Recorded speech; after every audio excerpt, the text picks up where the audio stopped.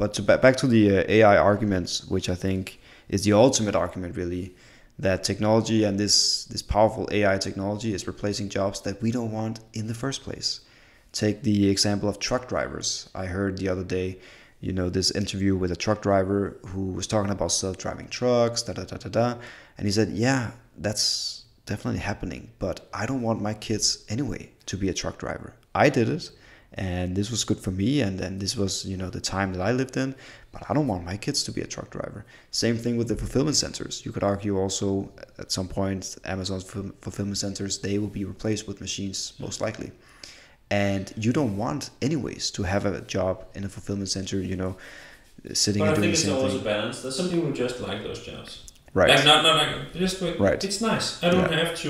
right I think we also have to recognize that in a highly performance-driven world, that Mm, there are people who just want to show up, right like the conformity and the security of just doing the same thing day in day out, and not Mm, being challenged too much. I think especially as uh, as entrepreneurs who mm, build new stuff and Mm. constantly challenge ourselves, we like.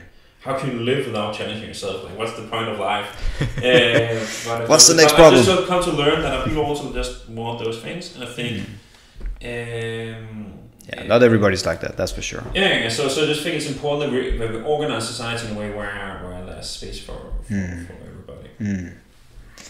Where do you see us go from here? Like, is AI just? Uh, I th- I like to think of it as just like we study ants and Mhm. chimpanzees, and are fascinated by, for example, how ants build their societies and Mhm. coordinate and all that stuff. I look at AI as in that's how AI is going to look at us pretty soon. Like, learn from I don't know study humans. You have to remember that right now they are all specialized. Right. So they might seem super smart, but it's just because they're training in tiny, tiny, tiny, tiny, tiny thing. Sure. Uh, Clerk is never gonna harm anyone. It's too stupid to do that. It's really good at just figuring out this little thing about people and products. Right. But uh, It's not gonna kill you anytime soon. dishes and it's uh, gonna fail miserably. uh, those are things. There's a long way Mm. to general intelligence. Mm. But I think when it's there, it's gonna be so fast that you cannot even make the comparison of humans and ants. I'm going to put you on the spot. How long is long? Ah, I have no idea. I have to do Uh, this. yeah, I mean, uh, uh, sometimes we get surprised. Like I think the GTP3 algorithm and some of the other AI algorithms, we have been surprised at how fast we're moving. Mm. And other times we are underestimating the complexity of the problem. For Mm. example, self-driving cars, Mm. uh, image recognition. Um so Right. So saying AI as a bucket I- is I- not I would accurate. say like this that I actually had legitimate concern about putting kids into this world when I Mm. believed that the world would end in doom and gloom. but then I also decided that no matter what, we're going to get to good years. There's a good chance, but but it will probably not be in that lifetime either. Right. But it's so hard to say because it, it might be that our electrical signaling is Mm. much More complex. much, no, much more, much simpler than we think Mm. it is. Yeah.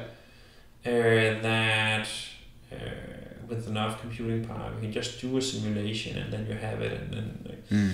Right. So, so, so it's it's it's really really hard because sometimes we're surprised by how simple things were to solve, and other times we are surprised by how hard they are to solve. right. Uh, So generalizing AI as you know when will it take over is too simplified. Like it's such different problems that AI, different AI algorithms are Right solving. now, where we are is that we can do really, really small specific tasks. But Mm. we're still just building machines like they're simple machines for cars and stuff like that. Right. So it might seem uh, intelligent, but it's no more intelligent than a simple machine for a car who can figure out how to position the right thing uh, to get it in uh, Mm. uh, and get it working. Uh, Mm. So you have to remember all these systems, no matter how smart they are. They are Mm. tiny, tiny, tiny, one little specialized thing, and then you have another system for another little specialized thing Mm. building a system that can bring all that together and understand Mm. it is a completely different thing, Mm. especially when we don't even know how what self-conscious is. Right. So, so yeah, you- that's uh, the arm way we. Um, Right. Do you think your kids will ever get a driver's license? Speaking of self-driving No. cars. I don't have one.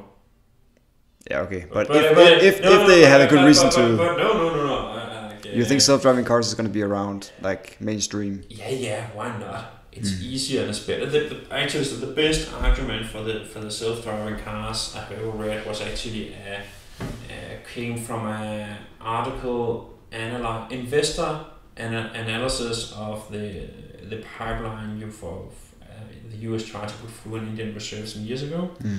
where the conclusion they came to was that investors should not invest in this pipeline because it would it would be close two years before it became profitable. Mm. And the argument for that was actually self-driving cars and electric mobility and stuff like that. So, right. so um, and the analysis it did was uh, basically that when you have an electric car versus an, uh, I think whether it's an, in a traditional gasoline driven yeah. car, there's 2,000 different components and an electric car that are 20 mm. uh, moving parts uh, and uh, and the 10 things that break most in uh, in a gasoline driven car are not even in an electric vehicle um, yeah. so so what you see right now uh, is that especially taxi companies. Uh, we have Viggo in Denmark, mm. uh, who have, have an all electric fleet. The whole benefit here when you with an electric car is that it costs the same as a gas car. So for a personal driver, it's um, it doesn't really make a difference. But for um, uh, but when you are like trying to use a car twenty four seven, right then you really get the economical benefits of this electrical car. Mm. So if you add that with the self-driving service, mm. I believe that we will soon get into a world where um, self self-driving cars are already safe. I, I think that's really important to remember that. Mm. It already saved lives. Accidents per mile. Like the beat humans, and why do they beat humans? It's because uh, some humans are directly stupid and just get behind the car drunk or texting mm. or distracted, but we also might had a hard day at work, or we mm. might drive the same commute back and forth and just zone out. Mm. Right? It's when all these accidents happen. Mm. Uh, so we humans are actually pretty shitty at driving cars. Not when we're sitting down and focused and really mm. trying. But, but most people all aren't. these other areas where yeah. the AI is beating us. Yeah. Um, uh, so yeah, I believe that uh, I think the biggest thing stopping it right now is just again as we see the friction in Clerk with we're down to let even though the computer I know the facts say I know facts are a controversial topic apparently today you know, in this world, but the facts say the computer is better. Mm. I just don't trust it. Right. Like like and, and that's you can you can make a lot of jokes about what's going on in the US with Trump, but it's the same thing that happens in humans with AI. Mm. The facts say they're better. Mm. I don't trust the facts. Right. I feel something different. We see the same when we push new technology in Clerk. Mm. We see the same when you push new technology with self-driving cars. Um, that's just for us humans. It needs to be uh, like I think that it needs to be economical, sensitive, like cheaper. Like it, it needs to be legal. Right. And then you need uh, a cheaper insurance. And I think the, the, the, the point about this pipeline analysis was that um, was that um, what you would get to was that it would be so much cheaper driving taxi than having a car. Mm. Because if there's no person in the car, you only have the upkeep. The cost goes down. And the cost goes down. Like it would be a luxury to own your own car. Yeah. Yeah. Because everybody just use using a taxi app all the time because it would be yeah. cheap. Like and, and now we live in the middle of Copenhagen. Mm. Um, uh, and and uh, every time Sarah says we have a big taxi budget, you just have to remind her what like it's still cheaper than car and mm. insurance, and mm. if you just add those up, we still like no, we cannot match that. No, no. Uh, and that's what people underestimate when they move to the suburbs or whatever. Then they also need a car. Then they need da da da da, yeah. and then the cost just explodes. Yeah. Even further than living in the middle of Copenhagen, which is also quite expensive in the first place. Yeah, but I did the calculation. Okay, well, how many hours do I get more in the day yeah. with the commute? Yeah. And since none of us has driver's license anyway, Mm. and we can just use taxis. Yeah, yeah. It's actually uh, we use Nemlig to get stuff delivered or other services. Also, we use Right. taxis to go around when we don't have a car, uh, and uh, we live in the Or center of. Copenhagen. Mm. All arguments are because it's cheaper. Yeah. It's just it, it it made no economical sense for us to drive down to and nature in the suburbs. It will be literally expensive, more expensive.